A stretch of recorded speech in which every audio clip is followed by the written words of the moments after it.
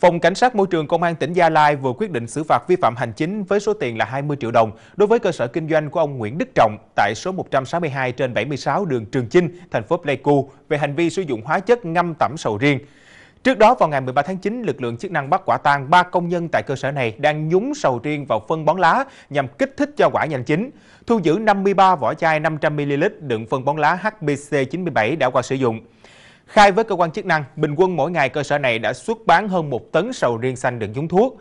Thị trường chủ yếu là các tỉnh phía Bắc và giao cho các siêu thị.